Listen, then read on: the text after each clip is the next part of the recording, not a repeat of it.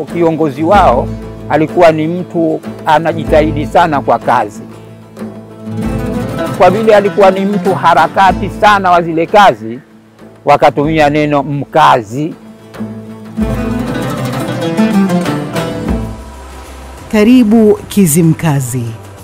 You are welcome to Kizimkazi, mji unaoundwa na shehia au kata mbili, Kizimkazi Mkunguni na Kizimkazi Dimbani. Kizimkazi jina linamaanisha, katika kujenga msikiti walikuwepo kiongozi wao alikuwa ni mtu anajitahidi sana kwa kazi.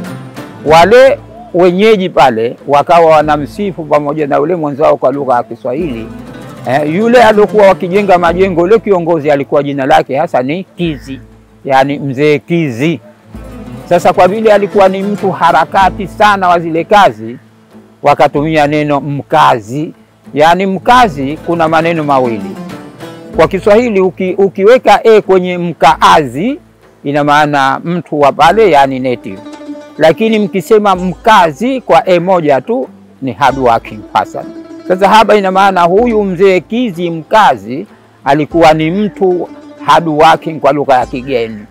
Sasa wakatanganya yale maneno mawili, jina lake na kuweza kumpa sifa yake kwamba ni mtu wa harakati, kwa hivyo Kizi mkazi. Sasa na kwa lile eneo walilokuweko pwani hapakuwa pakubwa sana, wakampa wakatoa jina la yule bwana, ndio ikawa Kizi mkazi. Ni maneno mawili.